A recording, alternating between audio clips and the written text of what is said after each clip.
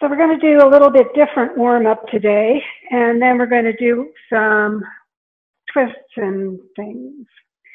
So feet hip width apart, straight ahead, ankles, knees, hips, and shoulders lined up, just like always, mountain pose. Ribs in and up, shoulders down. Breathe deep. Exhale any tension, and just focus inward. We're going to start with a twist. So keep lengthening up through the top of your head and just swing side to side gently. So the whole body moves. Follow your hands around to each side as you do that circuit. And as you keep lengthening and letting the spine open, you may go a little further at each end of the circuit. So that's okay. Only do what's good for you. So keep breathing. Just relax your shoulders, keep lengthening your spine. And then come back to the center and like a backstroke in swimming, bring your arm up near your ear and let your whole body turn a little bit as you're going through that range of motion. So just keep reaching up through the crown and again through the fingertips. And then both arms come up Stretch up on one side, come up on the opposite toe. So the side you stretch, the foot stays flat, lengthening through the oblique, the side. Exhale down, inhale, stretch. Exhale, release. Inhale, up. Exhale, release. Inhale, up. Exhale, release. Inhale, up. Stretch the arms out, pivot forward, back flat, and then down into ragdoll. And sliding up, slowly wind your way back to the top. Bring your hands behind your back, press the heels of the palms into your shoulder blades, and a little back bend. So chest high, shoulders down, elbows toward each other. And then inhale upright and release. Take your hands and clasp them behind you. Bring them up to about shoulder level or however high they feel comfortable. Sitting bones down, crown high, and exhale and twist to one side. Keep the hands together as much as you can. Lift the chest and then pivot in the twist, exhaling into the forward bend. So just deepen as much into that as you want. The hands come up toward the ceiling, head down toward your leg. So just take a moment to breathe, just relaxing. And then slowly work your way back up. Lift your heart, push your hands down, staying in your twist. So chest high, not in the low back too much. And then inhale up, exhale to the center Switch the clasp of your hands to the other finger outside. And again, push the hands down, open across the heart, stretch up through the top of your head, exhale and twist to the opposite side. And again, as you breathe in, lengthen, and as you exhale, pivot over. So come as deep into your forward bend as you'd like. You can tuck your chin in and bring your head toward your leg and keep the hands going up toward the ceiling or over toward your head. So again, just breathe and relax. And then in the twist, work your way back up. As you get to the top, hands press down, chest goes high, and look overhead. And then exhale back to the center and release. And just take a moment feeling your spine a little bit more stimulated getting ready for our practice. And then inhale the arms overhead and pivot over into ragdoll. Hands slide up onto your shins, straighten your back, and then look to one side, keeping your back as straight and flat as you can, getting a little twist through your spine.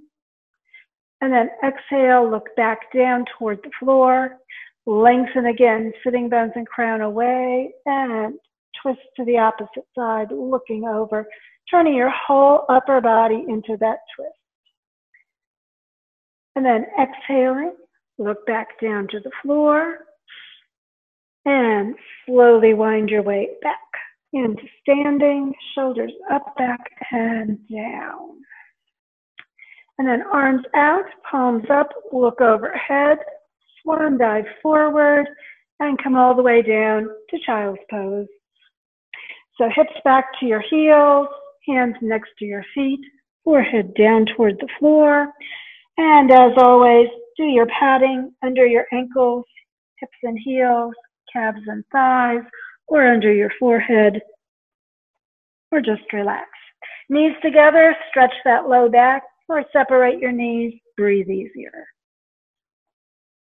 And then inhale those arms around to the front and pivot up. We're coming onto hands and knees. So bring the knees under your hips, straight, feet straight back, wrists, elbows, and shoulders lined up.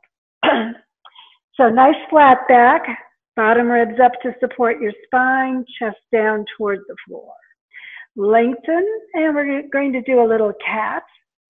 So inhale, ribs down toward the floor, solar plexus down, coming into your back bend, hips up, chest forward, looking to the front, crown towards the ceiling.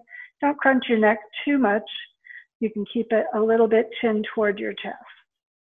And then solar plexus and bottom of your shoulder blades up as you tuck in your chin and sitting bones down, coming into your cat forward bend. And then inhale and come back to neutral.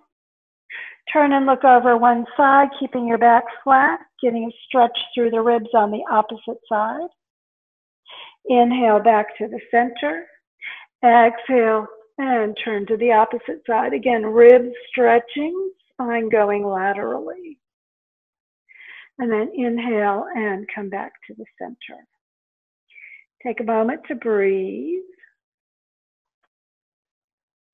And then we're going to again bring the ribs down, coming into the back bend, chest forward and up. And then exhale, angry cat, forward, forehead down, ribs up, sitting bones down. Now this time, we're gonna work the arms a little bit and bend your elbows and bring your forehead down toward the floor bowing cat, and then press back up and again into neutral table position. Take a moment there, feel your body. And then we're going to exhale, bring the right knee toward your forehead and tuck your chin in, bring your forehead and knee toward each other. And then inhale and stretch the right leg back straight at hip level, both hip bones facing the floor. And then tuck your chin in and again, bend your elbow, bring your forehead down toward the floor. Leg can come up higher in line with your body. And then pivoting back up, pushing into your hands, exhale and bring the knee back to the mat. So take a moment there, feel your body. Notice how your doing and get ready for the opposite side. So connect into those hands. If you need to circle your wrists, remember you can do that too. And then we're going to again tuck in your chin, exhale, left knee to your forehead, forehead towards the knee. And then inhale, bring that leg back straight out. And keeping it out, bend your elbows, forehead down toward the floor, leg going up. And push into your hands, coming back up and release that knee. Take a moment there, feel your body, stretch your spine. And we're going to just bring the right knee up, keeping everything perpendicular so the foot and the knee stay 90 degrees as you just lift it out to the side, a little hip opener. And then bring that back down and then shifting to the other side. Again, keep everything straight in that leg, just like it was in table position, bringing it up to hip level and putting it back down. So take a moment, feel your body. And slide one hand forward, bring that elbow down. Shoulder toward your hand, coming a little bit to the front. Exhale and twist, turning your head toward the side. So the whole body is turning, not just your neck, everything looking to the side in that twist. And then rotate your body back, face to the floor, slide that hand back into table position. Ribs are up at the bottom of your spine, keeping that lower back supported. And then slide the other hand forward, elbow right below where your shoulder is. And again, shoulder pushes forward toward that hand, stretching your spine open for the twist. And again, exhaling, rotating, looking to the side. Or further up toward the ceiling if you like a twist. Maximize or minimize, do what's right for your twist. And then rotating your upper body, looking back to the floor, press into your hand and back into table position. And then sink back onto your hips to your heels and circle your wrists a couple of times just to give them a little relief. And then pivot back up onto your hands and knees. So we're going to do the threading the needle. Remember, when you thread the needle, three options. You can stop at any point. Take your hand palm up, slide it through between your other hand and knee. Bring your head and shoulder down to the mat, and that hand on the floor, the elbow reaches up toward the ceiling. Level one of the twist, stay there if that's where you are. If you're ready for level two, take your foot near your front hand and allow that to press away through the heel, getting your lower back a little more into the twist. And then hand above your shoulder and looking at it, draw it further into your twist if you want to. And remember, it gets a little bouncy if you go there. Don't do it too far. And then if your hand is up, bring it back down. If your leg is out, bring it back in, press into your hand and back into table position, feeling all that twist energy through you. And of course, we'll twist to the other side, threading the needle. So level one, just slide that hand palm up through all the way to the side. And as you're in that position, just go ahead and make sure your head and shoulder are on the floor, not your neck. And then bring your leg out in front of you and allow that heel to press away for your lower back twist. And if you want to go to level three, that hand comes up in the air and looking at it, roll toward the back of your head into the twist a little bit further. And again, only go as far as your body finds appropriate, doing what's right for you, personal practice. And then bringing your hand back up, bringing your knee back in if it's out, unthread, and come back to table. And then again, sinking back into child's pose, small eyes microphone. So as you come into child's pose, just let everything be straight and relaxed.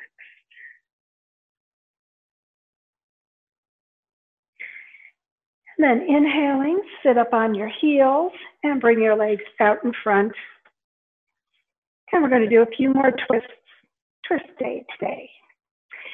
So heels out and toes up, sitting bones connected, spine lengthening, everything coming into staff position.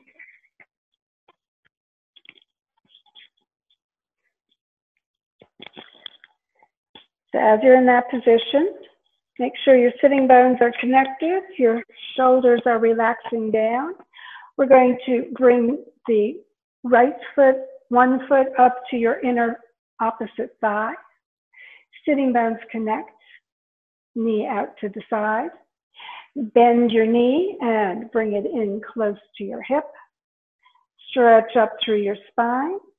Take your opposite hand to the knee other arm out in front, and pivot into your twist. Bring the hand behind you to the mat close to your body. You can take that opposite hand to the bottom of your foot. And then stretch up and pivot a little deeper into that twist. And then bring the hand behind you up, follow it back around to the center, releasing your hands and your legs, coming back into staff. Take a moment and breathe. And then the opposite side. Foot up to the upper thigh, heel back near your hip. Take your hand to the opposite knee, arm up at shoulder level, stretch from your sitting bones up, and follow it around into your twist. Hand close to your body on the mat. Bring your other hand to the bottom foot, stretch up through your spine, and exhale and twist a little deeper towards that first bent knee. And then bring your arm back up, follow it back to the center, and release your hands and unwrap your legs back into staff. Take a moment feeling your spine and just noticing how you're feeling through your entire body. And then we're going to separate the feet, coming into a little bit of a wide-legged position. And again, kind of shift into the front of your sitting bones as you do that so that you've got that nice pelvic opening. Heels out, toes forward, toes up on the extended leg. And then once more, hands to your side, bring them out at shoulder level, palms toward the ceiling, over your shoulders. Exhale, bring your hands down to your shoulders. Inhale, stretch way up. Exhale again, hands down to your shoulders. Stretch way up. Exhale, hands down. Turn toward one foot. Inhale, stretch up. Exhale, hands down. Inhale, stretch up. Exhale, pivot, reach for that leg. So chest and chin are coming toward the leg, not the top of your head or your forehead. Top of your head is are reaching toward your toes and the toes are pulling back. So just lengthen, kind of sink into both sitting bones as evenly as you can. Don't forget to keep pressing out through both heels. And then reach forward further. Inhale, pivot back up. Now keeping that same twist, we're going to bring the hand near that leg down and reach over with the hand in the air toward your toe on that opposite leg. So as you come into that kind of side bend with the twist, just feel your whole body. If you like, you can bring that arm that's along your leg in front of the knee and pivot looking a little further up toward the ceiling for a little bit more twist. So crown is reaching still toward your toes, sitting bones as much evenly down as possible. And then bring the arm in the air up, follow it up, and twist back to the center. Feel your spine, feel your body, and again, sink into the sitting bone. Relax your hands at your sides. Inhale them out to the sides, palms toward the ceiling, over your shoulders. Sink down, hands to your shoulders. Inhale, stretch up. Exhale and release. Inhale, stretching up. Exhale and sink down with the hands. Keep the spine long. Exhale, turn to the side as you stretch up. And lead with your chin and your chest, reaching for your foot onto that opposite leg. And again, kneecap toward your thigh. Tighten the front of your thigh, letting the hamstring get a good stretch as you go into that forward bend in that twisty position. So just relax. Deepen chest and chin toward your leg, top of the head toward your foot, not your forehead. And then again, releasing that leg. Inhale, bring your arms up by your ear. Bring the arm near the opposite leg down. And again, stretch across, reaching for your foot with that opposite hand. Once more, just stay there if that's good. Sink into both sitting bones. You're in a twist, so the side of your body's up toward the ceiling. If you like it a little bit more, you can leverage that elbow in front of your knee and twist a little further to look up under your arm. So just keep reaching that arm toward your foot, however far it wants to go. And then bring the arm in the air up, follow it up, sitting back up, and release. Take a moment to feel how that's through your spine, through your body. And then bending your knees, bring your legs back in and out to staff position. And just take a moment feeling your sides and your spine a little bit more stimulated. And then bring your feet to the end of the mat and we're going to roll onto our backs for, yeah, a couple more twists. So just bring your body down onto the floor, relaxing in a little reclined integration. And then arms out to the side in T position. Press your back down toward the mat. Bend your knees. Bring the heels in close to your body. So lengthen sitting bones toward your heels, getting your whole spine connected, and then lift your feet off the floor. You can turn your hands palms down for a little more stability to keep your shoulders down on the mat, or you can keep them palms up if that's good for you. So we're going to roll the knees up toward the elbow as you look over your shoulder toward the arm behind you. So a little extra work in that lower back for this twist this morning. Deep breath, just relaxing. As always, you can pad under that leg if you need to so that you don't have too much stress and strain.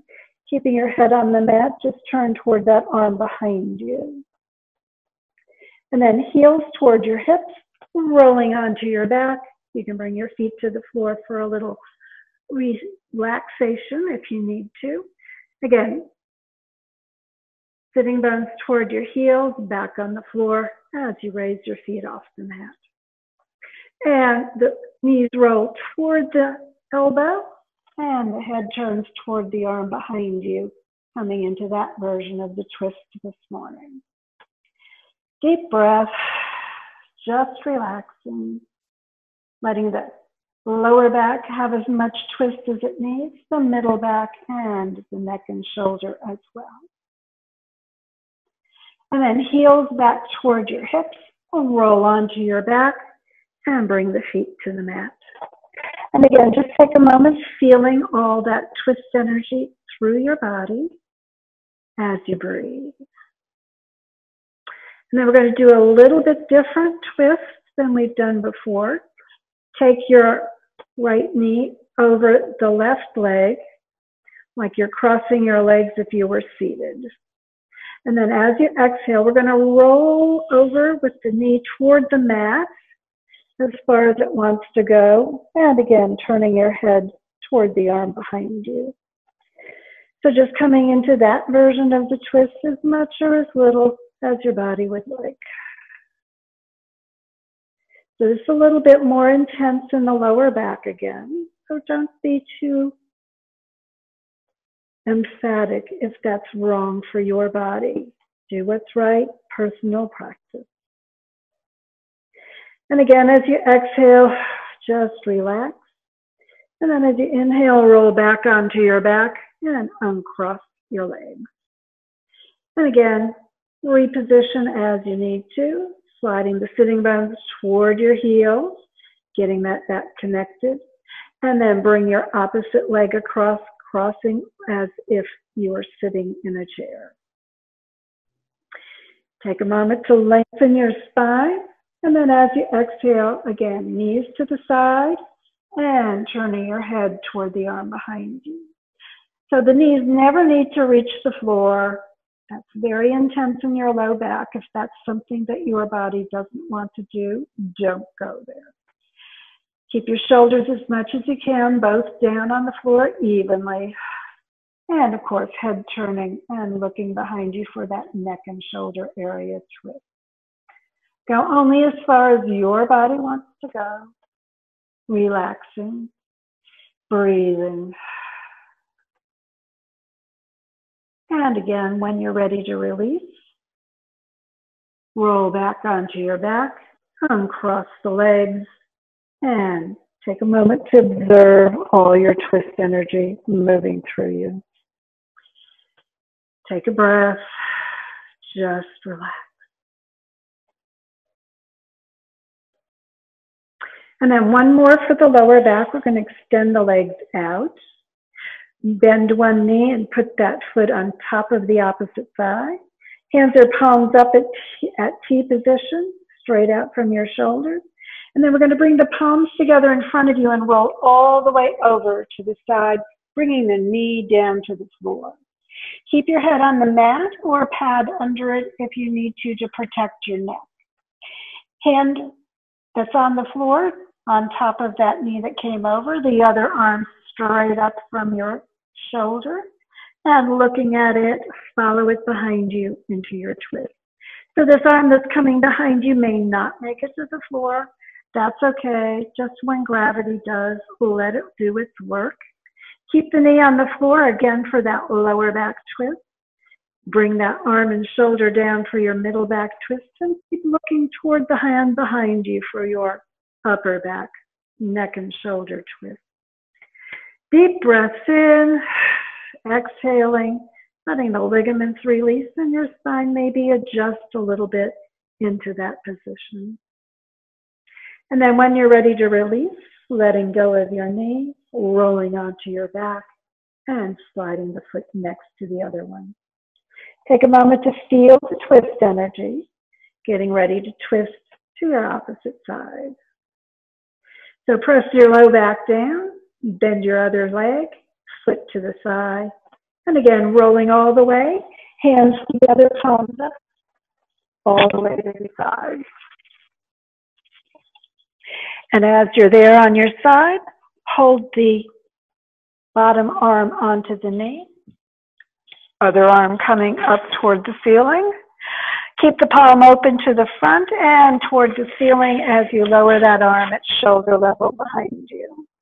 So keeping the knee down is your low back twist. Arm coming down is your middle back twist and head turning is your upper back, neck and shoulder twist. Do what's right for your body, personal practice, maximize or minimize wherever you need to. Again, exhaling, letting things release through the spine into your twist. And then when you're ready to release, let go of your knee, roll onto your back, and slide the feet next to each other into corpse position. Hands at your hips, palms up, and body relaxing, allowing your focus to turn inward for our final relaxation. So go ahead, take a few moments to realign and reposition. Soften your sacrum and hips down into the floor. Feet separated slightly, toes more or less still up to the ceiling. Palms up with your hips, even with your hips, but slightly away from your side with your hands. Shoulders relaxing down and just kind of lengthen through your spine and then exhaling, let your whole body relax. So lots of twist energy today. Notice if it's activated your meditative connection in the middle of your skull. And just focus there as you let your body relax completely. And as your body sinks and grows heavy, let Mother Earth embrace you and hold you, supporting you as always and let your body go completely. And as your body relaxes, just let your mind release and drift as well, focusing into that middle skull, letting that meditative connection draw you into the peace, allowing any content of your thoughts to dismiss, drifting away as easily as your breath. And releasing any thoughts of the past or anticipation of the future. Just let the peace within be your focus. Filling your body with peace. Filling your mind with peace. Just becoming peace.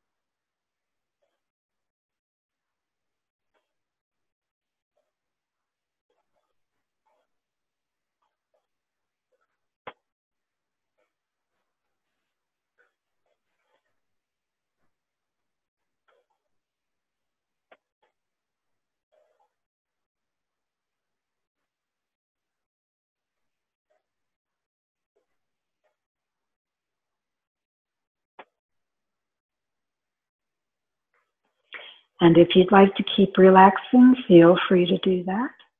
If you're ready to begin returning to the moment for the rest of the day, just bring energy and awareness back to the moment, back to the room, back to your body, moving your body gently as you become ready. And when you're ready for your final yoga hug of appreciation, press your back down, draw your knees toward your heart, and Give yourself that appreciative hug. Let your body know you appreciate its yoga work today and the work it does for you every day. And then releasing and rolling to the side and sitting back up. Just get ready for the rest of the day ahead. Thanks for joining me this morning.